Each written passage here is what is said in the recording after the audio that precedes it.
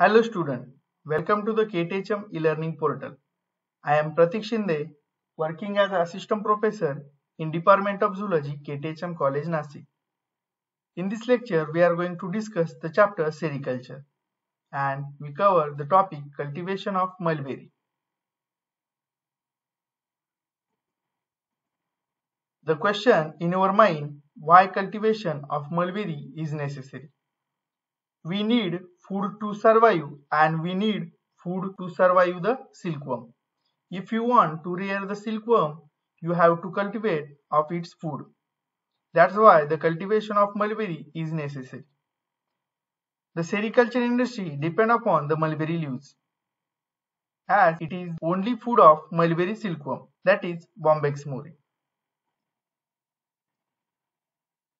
Then we should know what is moriculture. Moriculture is the cultivation and harvesting of mulberry plants is called moriculture. Mulberry species grow in a temperate, tropical and subtropical region of the world. The leaves of mulberry from the specific food for the mulberry silkworm that is Bombyx mori. The variety of mulberry plant determine the quality of silk thread.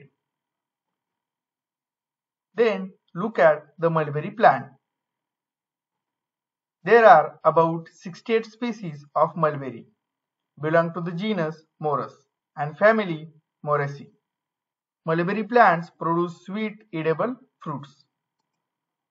Mulberries are native to the temperate Asia and North America and the several species are cultivated for their fruits and as an ornamental purpose. Mulberry plants are also important as a food of mulberry silkworm.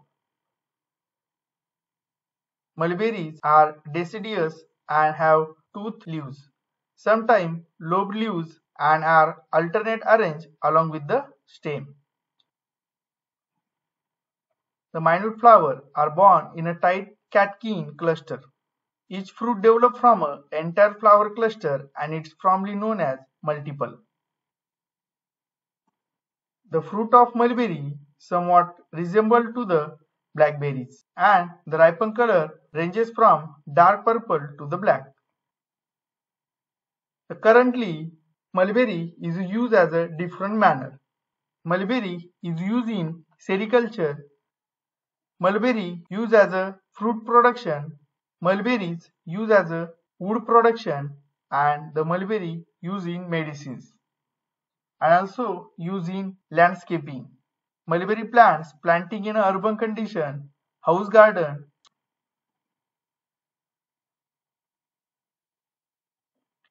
Before the starting cultivation, we should know which are the commonly used species of mulberry in India. You should know which climatic conditions suitable for which mulberry species and you should know which type of soil is suitable for growth of mulberry in India. These three aspects studied in this lecture.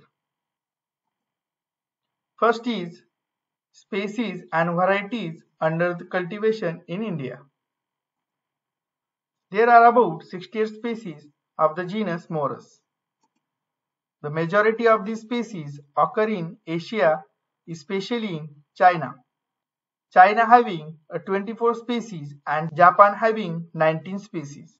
In a continental America is also rich in its Morus species.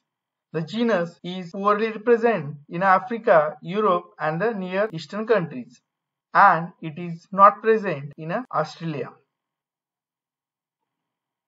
In India, there are many species of Morus, such as Morus alba, Morus indica, Morus serrata, and Morus laevigata, which grow in a wild in the Himalayas.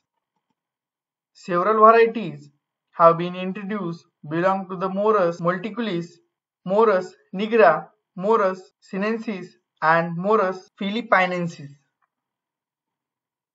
Most of the Indian varieties of the mulberry belong to the Morus indica. Though mulberry cultivation is practiced in various climatic conditions, the major area in a tropical zone covering Karnataka, Andhra Pradesh and Tamil Nadu. In the subtropical zone, West Bengal, Himachal Pradesh and the northeastern state have major area under the mulberry cultivation. The detail of the mulberry varieties under the cultivation in a different state of the India is given in a table. The table shows the varieties of mulberry and their cultivation region. And this variety is developed by a particular institute listed here and the origin of this variety listed here. First is Kanva 2 variety. Mainly planted in South India under the irrigated condition and is developed by CSRTI Mysore and is origin selection from natural variability. Then the DD. This DD variety mainly planted in South India under the irrigated condition and is developed by KSS RDI Thalagattapura and origin from clone section. Next variety is S13 is mainly planted in South India under the rainfed condition and it is developed by CSRTI Mysore and its origin from polycross progeny. Then the next is S34 mainly planted in South India under the rainfed condition and it is developed by CSRTI Mysore and is also originated from polycross progeny. Then the next variety is Victoria 1. In a Victoria 1, there are a number of species like Victoria 1, 2, 3 and so on. But we see the Victoria first. The Victoria first species is planted mainly in South India and under the irrigated condition. And it's developed by CSRTI Mysore. And it's originated from hybrid from S13 variety cross with Break 776. Next variety is BC 259 and is mainly planted in hilly area of eastern India. And it is developed by CSRTI Berhampur and it's originated from backcross of Matigara local cross with Kosen. And the next is Goshoerami. Goshoerami variety mainly planted in temperate region and it's developed by CSRTI Pampore and it originated from Japan. And the last species is Chakmajra, mainly cultivated in subtemperate region and is developed by RSRS Jammu and is originated from natural variability. Along with this variety, there are many different variety of mulberry which are used for cultivation.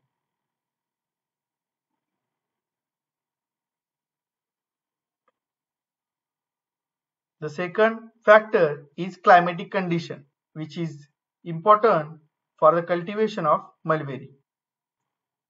Mulberry grow well under the various climatic conditions. Ranges from temperate to the tropical region.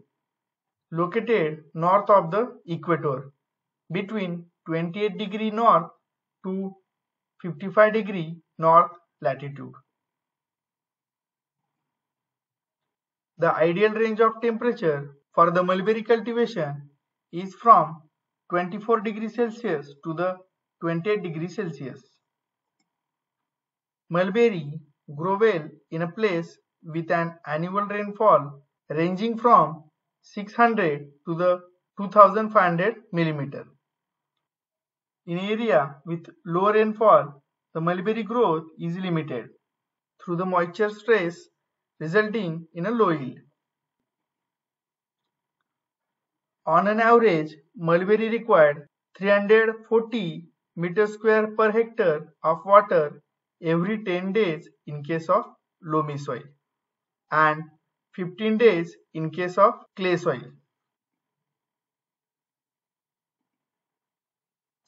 Atmospheric humidity in the ranges of 65 to 80% is ideal for mulberry growth. Sunshine is one of the important factors controlling growth and leaf quality. In the tropics, mulberry grow with a sunshine ranges of 9 to 13 hours a day. Mulberry can be cultivated from sea level up to a elevation of 1000 meter. Mulberry grow well in a soil that are flat, deep, fertile, well-drained, loam to clay soil and porous with good moisture holding capacity. The ideal range of soil pH is 6.2 to 6.8. The optimum pH being 6.5 to 6.8. For the improving of soil pH, we have to use gypsum or lime. How to use gypsum and lime for obtaining desired pH show in a table.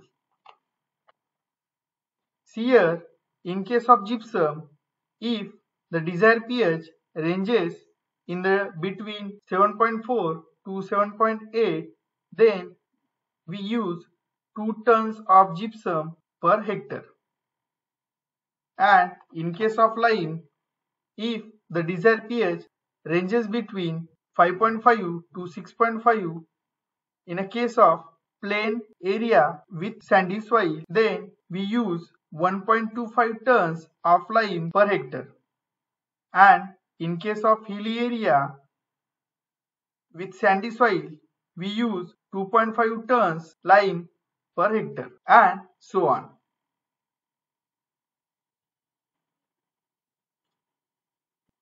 The actual cultivation of mulberry studied in detail in the next lecture.